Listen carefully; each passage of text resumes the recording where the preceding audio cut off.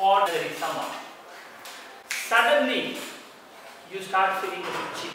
Raise your hands if you think of rushing to a doctor. Anybody? No. And few minutes later, you start feeling some kind of a pain in your mouth, an irritation. Will you rush to a doctor? Raise your hands, please. I can see only two people nodding their head. No. The problem is very, very important because people get a symptom. They dismiss it as, as nothing serious. 40% of the people rush to a doctor, but 60% don't. The symptoms which I said is to do with monkeypox. It's almost in UK 200. Any illness or disease, infection especially, comes with a symptom.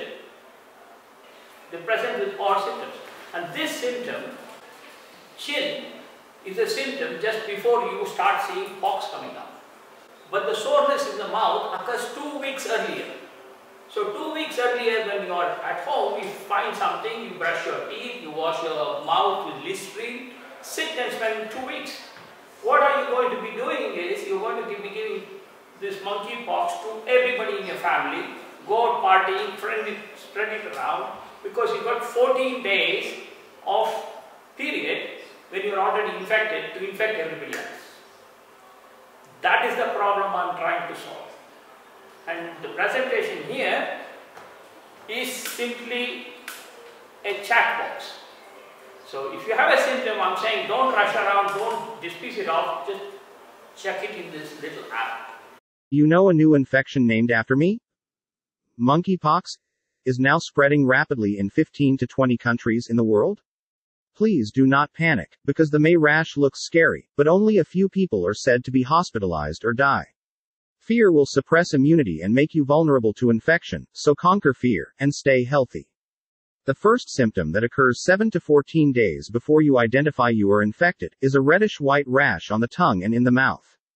This may be associated with swollen glands in the neck, armpits, under the jaw, above the collarbone, and in the groin.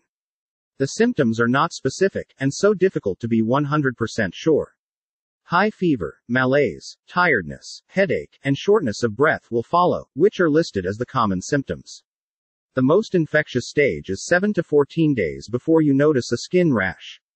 You must isolate the individual as soon as you notice a rash in the mouth and speak to your doctor or public health helpline. which will tell you what you should do. Education is the most important thing in modern medicine. It is nothing to do with tests, nothing to do with treatment, it's nothing to do with quarantining, making shutdowns. It won't work. I have worked in this business for almost 40 years. 1980s, I started my work. I wrote my first artificial intelligence based program in Psion. How many of you have seen Psion? Psion is the first PDA, a personal digital organizer. 1984, before Google or anybody came in, I wrote my first program so that my junior doctors will not admit common illness patients into the hospital. They didn't know which one is serious, which one is not serious. So I had to teach them. I made cards, didn't work. So this is pediatric assessment tool, PAT I call it. So if some junior doctor comes in who's calling me for everything, I gave him that. I said, look, just put the thing in. If it says call street, please call street. I reduced the admissions to the hospital more than 50%. But in the long run, in six months, they were perfect.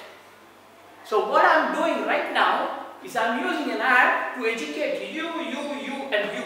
Everybody should know this. How do you differentiate a common infection from a serious one?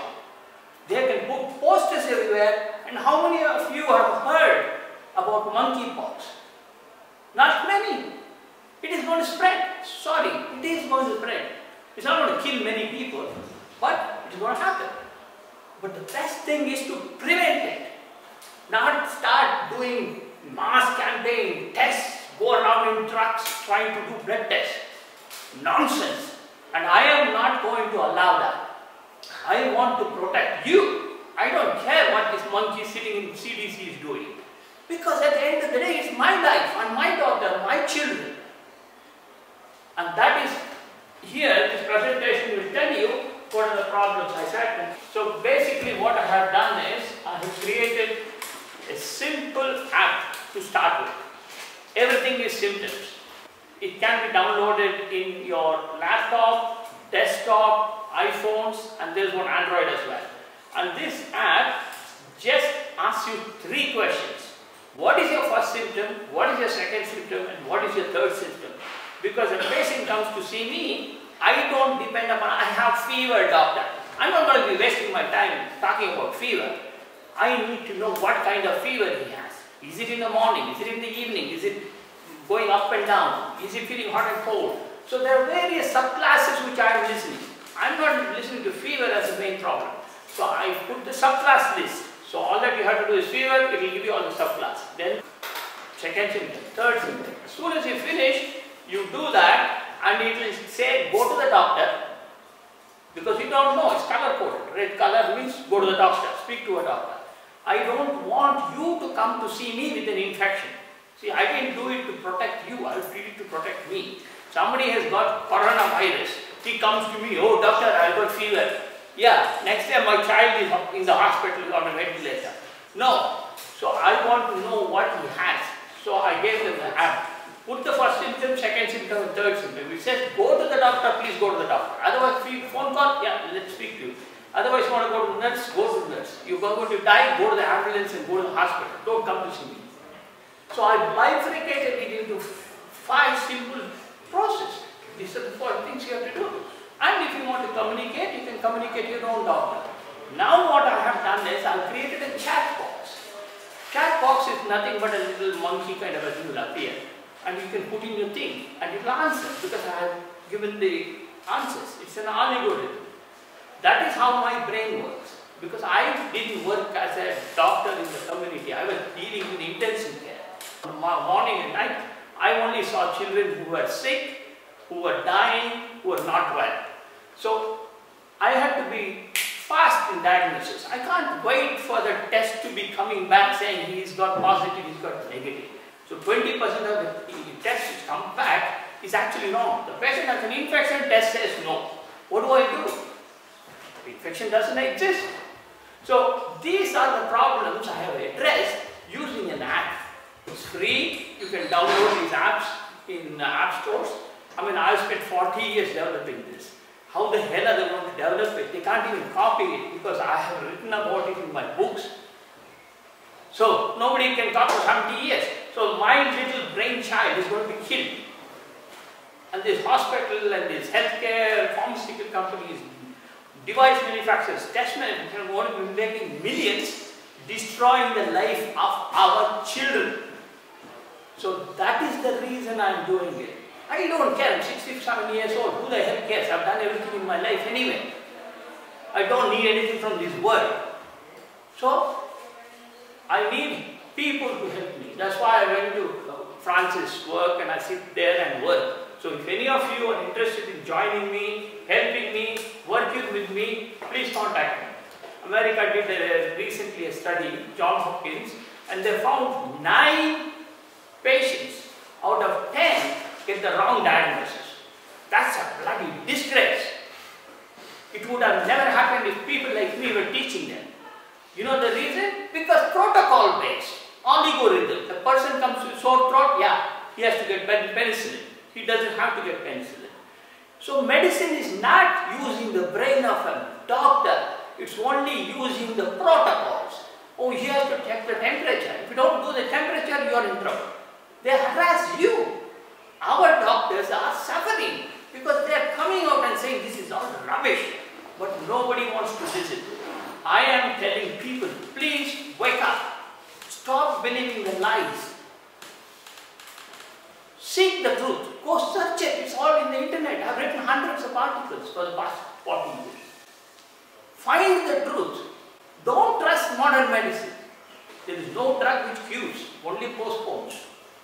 It suppresses the symptom. We are not God, we postpone death. But everybody says, oh doctor, you save life. Nonsense, we don't save anybody's life. So the truth is you have all the goodies, but make use of it. If your mindset is fine, I am still COVID negative, but I have worked in leprosarium, I have worked in TB sanatorium, I have worked with all sorts of influence, I have worked in COVID area. I never took any vaccination, including hepatitis B. Who said I don't get it? It's a fear. Put the fear into the people so they're becoming like, you know, zombies. And that is why the government and politicians want you to be dependent. So you have, we have all lost our free will. Wake up. Thank you. change life and make it better because it's kind of messed up in a lot of ways. Once you learn that, you'll never be the same again. Scientists placed four monkeys in a room with a stepladder, upon which there was a bunch of bananas. Whenever a monkey started climbing the ladder, the other monkeys in the room were sprayed with ice cold water. After a while, each time a monkey went for the bananas, the other monkeys attacked to prevent the monkey climb the ladder. The four monkeys soon learned not to climb the ladder. The scientists removed one monkey, and a new monkey wearing a raincoat was introduced. Naturally, this new monkey went to get the bananas and was attacked and prevented from climbing the ladder by the other monkeys. This new monkey did not know why but soon learnt not to climb the ladder. So when another monkey was substituted in and made the bananas, all the monkeys, including the one in the raincoat, attacked the new monkey. A third and finally the fourth monkey, the four monkeys with raincoats did not climb the ladder, even though none of them had ever been sprayed with the ice cold water. When asked why one of the monkeys said, Well, I don't know. That's just how things are done around here. The moral of this story is to show, the fear of infections, hospitalization and death, made us believe doctors save lives. Remove the veil of illusion, seek the truth, know the truth and stop believing the lies. Ask Dr. Maya.